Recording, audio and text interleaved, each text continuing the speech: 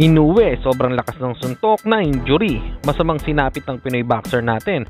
Ito at pag-usapan natin. Pero bago ang lahat, subscribe po ng channel ko. Huwag na rin kalimutan i-click ang notification bell para lagi kayong una sa balita. Mabagal na laban ang aasahan Balita sa mga pambato na isasalang Pasabog na video, lahat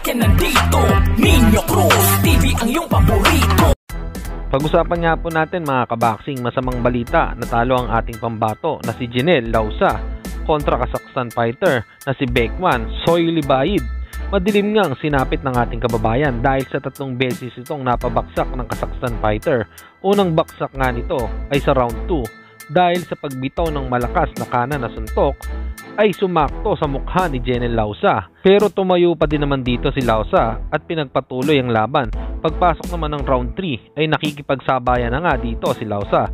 Pero lubhang malakas talaga si Beckman na hindi iniinda ang patama ng pambato natin. Bagamat nagpakawala ng isang suntok ng malakas na tumama sa katawan ni Lausa na nagpaluhod dito pero nakatayo pa ulit siya.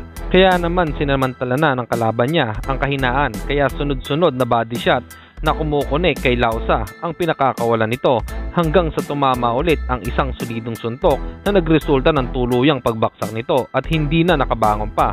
Panalo nga dito si Beckman via TKO sa round 3. Samantalang galing naman ang news kay Kago Shioya ay na-injury daw di umano ang kamay ni Japanese Monster Naoya Inoue dahil sa sparring simula noong March 10 pa.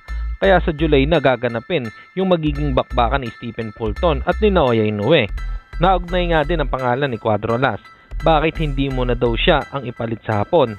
Nalabanan, total daw inoperan din ng Japanese promoter ni Casimiro itong si Stephen Fulton noon. Pero kung kayo ang tatanungin mga kaboxing, may pag-asa pa kayang makalaban ni Casimiro itong si Stephen Fulton?